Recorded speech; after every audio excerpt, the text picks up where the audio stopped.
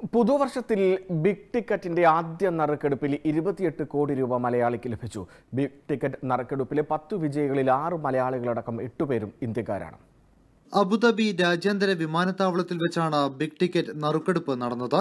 പുതുവർഷത്തിലെ big ടിക്കറ്റിന്റെ ആദ്യ നറുക്കെടുപ്പിൽ ഇരുപത്തിയെട്ട് കോടി രൂപ മലയാളിക്ക് ലഭിച്ചു. ശരത് പുരുഷോത്തമനാണ് കോടിപതിയായ മലയാളി.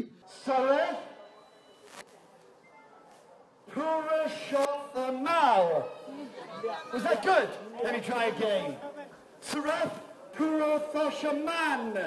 പൂജ്യം എട്ട് മൂന്ന് ഏഴ് മൂന്ന് മൂന്ന് നമ്പർ ടിക്കറ്റിലാണ് ശരത് പുരുഷോത്തമന് ഇരുപത്തിയെട്ട് കോടി രൂപ സമ്മാനമായി ലഭിച്ചത് ബിഗ് ടിക്കറ്റിൽ ഈ വർഷം കൂടുതൽ പുതുമകൾ ഉണ്ടാകുമെന്നും Abu Dhabi big ticket assistant general manager Sheryl Fajardo പറഞ്ഞു with big ticket as you have seen we've grown it you know to this um, really big prize draw the biggest in the region um, so there's a lot of things coming up this year and you'll find out about it very soon നറുക്കെടുപ്പിലെ പത്ത് വിജയികളിൽ ആറ് മലയാളികളടക്കം എട്ടുപേരും ഇന്ത്യക്കാരാണ് നറുക്കെടുപ്പിലെ വിജയികളിൽ ഒരാൾ Fiji സ്വദേശിയും മറ്റൊരാൾ Pakistan സ്വദേശിയുമാണ് N T V Abu Dhabi